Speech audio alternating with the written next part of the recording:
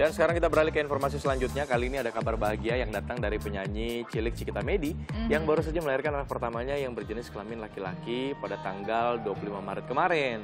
Nah, buah hatinya tersebut ini diberi nama Javier Raisha Aditya yang memiliki arti pemimpin yang intuitif dan cemerlang. Amin, bagus banget ya. Hmm. Congratulations untuk Cikita Meidi dan hal tersebut dibagikan Cikita dalam akun Instagramnya. Jadi dia memposting foto sang buah hati beserta proses persalinannya dengan caption ucapan rasa syukur. Ya postingannya itu turut dikomentari oleh teman artis lainnya yang mengucapkan selamat untuk Cikita seperti Tina Tun, kemudian juga Dr. Reisa Broto Asmoro, Feni Rose, dan Senyorita. Iya, sekali lagi selamat. Semoga menjadi anak yang soleh dan berbakti kepada orang tua.